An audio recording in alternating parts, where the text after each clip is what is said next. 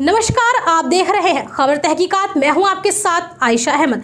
प्रेम प्रसंग के तो आपने हज़ारों किस्से कहानियाँ सुने होंगे कि किस तरह प्रेमी जोड़े अपने प्रेम को पाने के लिए क्या से क्या कर जाते हैं, जिसका कोई अंदाज़ा भी नहीं लगा सकता। आज हम आपको एक ऐसे ही प्रेमी जोड़े के बारे में बताएँगे, जिनकी प्रेम कहानी बेहद फिल्मी है।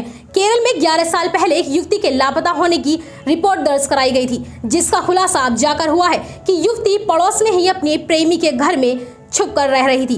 दरअसल यह मामला केरल के पलकक्कड़ के आयलपुर गाँव का है, जहाँ एक परिवार ने 11 साल पहले अपनी लड़की सजीदा की गुमशुदी की रिपोर्ट दर्ज कराई। घर वालों ने लड़की को खूब ढूंढा, मगर उसका कहीं कुछ पता नहीं चला, जिसके बाद घर वालों ने उसके मिलने की ही उम्मीद छोड़ दी।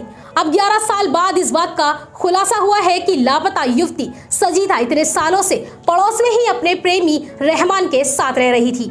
हैरानी की बात तो यह है कि लड़की के घर वालों को इस बात की भनक तक नहीं लगी। दरअसल, सजीता अपना घर छोड़ रहमान के घर आ गई थी और तभी से दोनों घर वालों को बिना बताए उसके कमरे में रह रहे थे।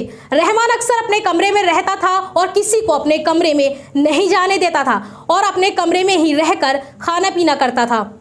हैरानी की बात यह है कि रहमान के कमरे में ना तो टॉयलेट था और ना ही बाथरूम। इसी स्थिति सजीता घर वालों के सोने के बाद खिड़की से आना जाना करती थी। सालों तक उनकी ज़िंदगी में ऐसे ही चलती रही।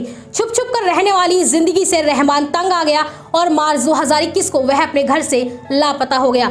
अपने घर से थोड़ी दूर ही किराए के मकान में दोनों साथ रहने लगे। रहमान के घर वालों ने भी उसकी गुमशुदी की रिपोर्ट दर्ज कराई और एक दिन रहमान के भाई ने उसे सड़क पर देख लिया और उसे घर चलने को कहा, लेकिन रहमान तैयार नहीं हुआ। रहमान के भाई ने इस बात की सूचना पुलिस को दी, जिसके बाद पुलिस रहमान को थाने ले आई और उससे पूछताछ की तो रहमान ने बताया कि वह किराए के मकान में रह रहा था और 2010 में लापता हुई सजीता भी उसके साथ रहती है। रहमान ने 2010 से लेकर अभी तक की सारी बातें पुलिस को बताई कि किस तरह से वह इतने सालों तक सबसे छुप कर रह रहे थे।